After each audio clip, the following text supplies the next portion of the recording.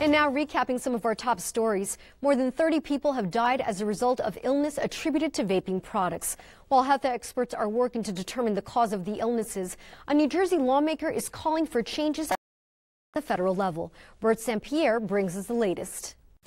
What has caused nearly 1,500 people nationwide to suffer from lung illnesses associated with electronic cigarettes and vaping products? That's the question medical experts are trying to answer. According to the latest data from the Centers for Disease Control and Prevention, 1,479 people have fallen ill after using these products and 33 people have died. While no single ingredient, e-cigarette, or vaping device has been linked to the illnesses, doctors do know how the potentially deadly products are negatively impacting smokers.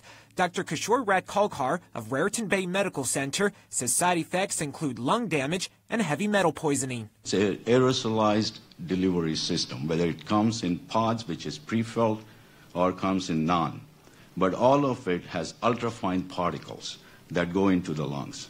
They have all these flavorants, as we talked about, which really cause serious lung damage. In New Jersey, one person has died, and there are 20 confirmed cases of lung illnesses related to vaping. The health department is investigating another 35 possible cases. Earlier this month, a state task force announced their findings after examining the countrywide outbreak. Acting Health Commissioner Judith Persichilli is the chairperson of the task force and says there are several steps the state can take to help reverse this deadly trend. Considering a ban of flavored electronic smoking devices and products increasing penalties for unauthorized sales, restricting online sales, increasing compliance buys.